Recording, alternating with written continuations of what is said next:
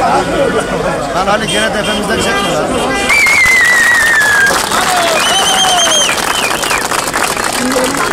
Kurban olayım Allah'a şu mutluluğa bakın. Bu mutluluk için bir alkış.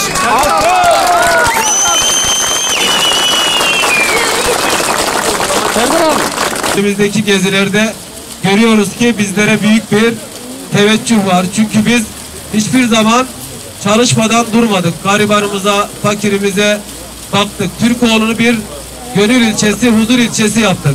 44 tane mahallesiyle kalkınan bir ilçe yaptık. Kahramanmaraş'ımızın en çok yatırım alan ilçesi yaptık.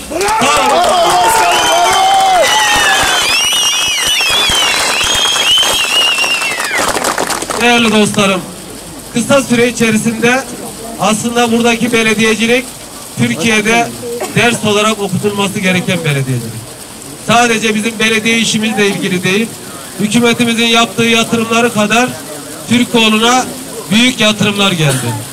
Bundan sonraki hedefimiz bu yatırımların devamı, aynı zamanda da Türkoğlu halkının işsizliğiyle mücadele ve refahının arttırılmasına yönelik çalışmaları.